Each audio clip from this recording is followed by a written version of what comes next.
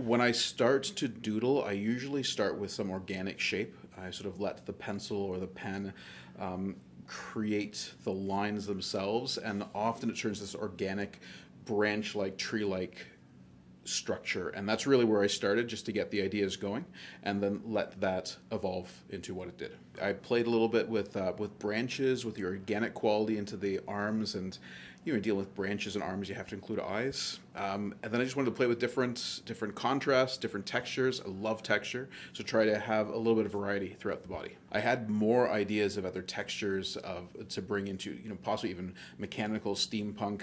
Um, but then i realized on the page each of the textures i was playing with was taking up a lot of real estate and i didn't want them to conflict too much. Um, i wanted each one to be able to stand on its own without having to fight with too many things around it